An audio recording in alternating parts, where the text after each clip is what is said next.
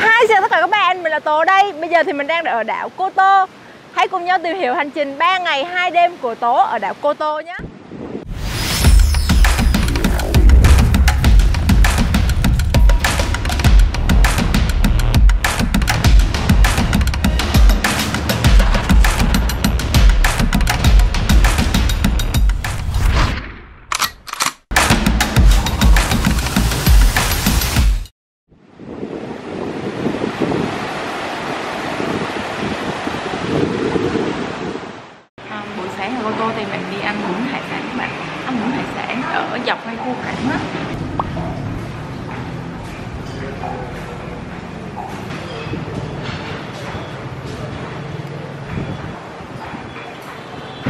Chén tái mình gọi thêm. Ở đây mặc dù rất hợp khẩu vị nhưng mà nó không có kiểu như có sẵn bò á Nào thập cẩm thì cũng sẽ phải ăn hải sản ha. Hi chào các bạn, mình là Tố đây. Bây giờ thì mình đang ở một địa điểm rất nổi tiếng trên đảo Cô Tô. Đó chính là ngay chỗ bãi đá móng rồng các bạn ạ. Đây, nè. Nhìn một vòng thì nó sẽ là như thế này. Nó là một cái dải kiểu như là một bãi biển mà có bãi đá Thì nó sẽ bao gồm cả bãi đá móng rồng và bãi đá cầu mị thì nó liền nhau luôn. Thì mình có thể đi hết cái đường móng rồng ở gần cảng á, mình chỉ cần đi khoảng hơn một cây số thì mình sẽ đến cái đường móng rồng ấy. Mình đi hết cái đường đó thì sẽ thấy ngay cái bãi đá luôn. Phí gửi xe là khoảng 10 ngàn. Đó sau đó mình sẽ đi ra ngoài bãi đá để mà chụp hình. Rất là đẹp luôn. Cùng mình ngắm chỗ này nhé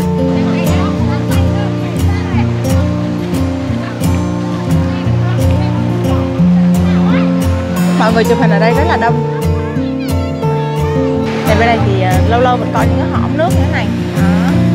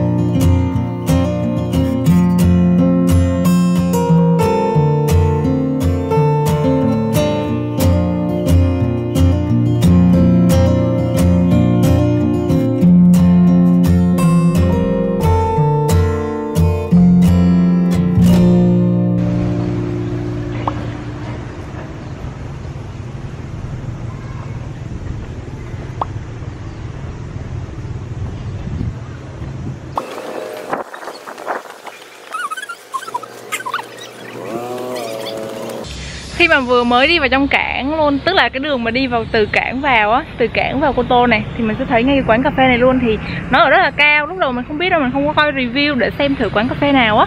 Thì tự nhiên thấy quán này trên cao nhìn rất là đẹp buổi tối á bật đèn sáng lắm luôn. Còn ban ngày thì tụi mình lên đây để ngắm cảnh. Nhìn từ chỗ này thì có thể thấy được rất là nhiều uh, những cái phong cảnh. Nói chung là nhìn toàn hầu như là một khúc rất là rộng của thị trấn Cô Tô luôn, nhìn thấy ngay cảng luôn á. Ngồi đây thì có cây xoài che bóng mát nó cũng chung, cũng khá là mát. Nước ở đây thì nó sẽ đâu đó tầm ba mấy đến bốn mấy ngàn lận.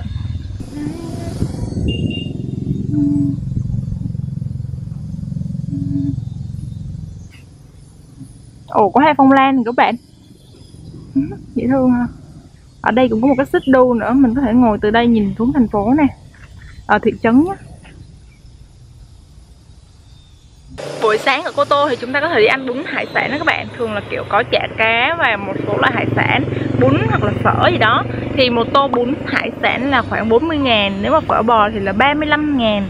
Ờ, Chả đá là khoảng tầm 2 ngàn rưỡi 3 ngàn gì đó một ly.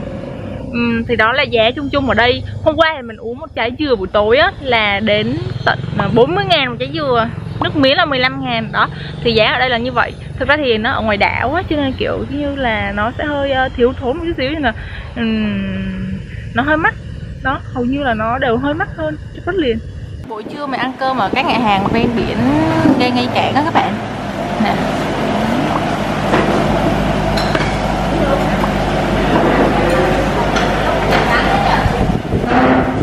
Là canh ngao chua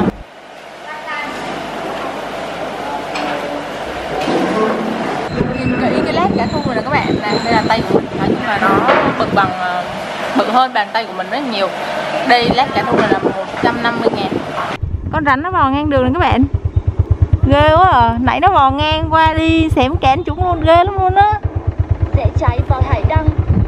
Chỗ nó bò qua tới kia. Trời rắn qua đường qua đường. Nó sọc sọc sọc sọc đây con, con này có độc không ta? Trời nó bò lên trên kia.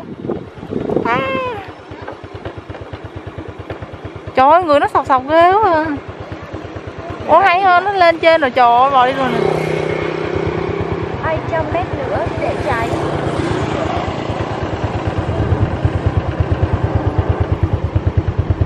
Thôi nó đi xuống. Đây là đường đi lên ngọn hải đăng Cô Tô các bạn.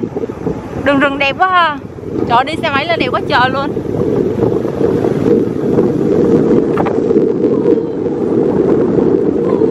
Vòng vòng vòng À vòng quá ừ.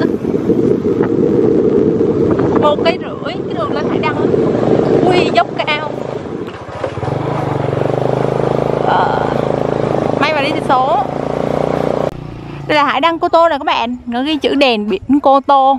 Thì nó hơi bị dốc á. Mọi người đa số là để xe ở dưới, nhưng mà bây giờ mình cũng ờ, đưa lên. Sao giờ? Trên này không có chỗ để hả?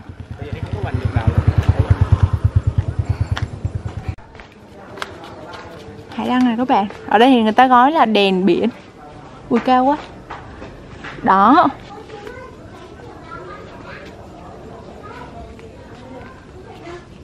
Ngay chỗ đèn biển này này, hải đăng này thì rất là nhiều rừng. Rất là đẹp. Nè, mình đã lên được đến chỗ ngọn hải đăng của đảo Cô Tô rồi các bạn. Rất là cao luôn. Nhưng mà kiểu như là mình chỉ được tham quan ở dưới thôi, Mình không có lên trên đó Cho nên mình sẽ không chụp được những bức hình mà kiểu thấy cái view rất là đẹp ở trên mạng. Nhưng Google Maps á người ta có thể chụp một hình mà cả đảo Cô Tô luôn toàn cảnh đảo Cô Tô có rất là nhiều rừng và nhìn thấy này kia nọ luôn á. Nhưng mà ở đây thì kiểu không có lên trên cao đó được á nên mình chỉ có thể tham quan xung quanh cái ngọn hải đăng này thôi.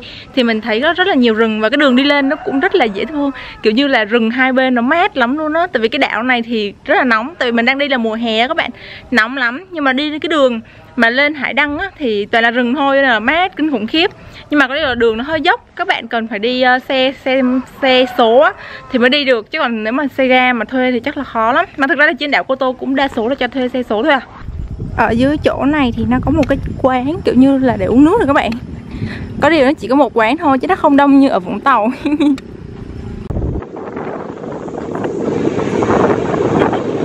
Mình đang đi xuyên núi á các bạn ạ. À. để mà đi được từ bãi biển chỗ trung tâm thị trấn qua tới bãi biển bên kia thì sẽ đi xuyên qua núi luôn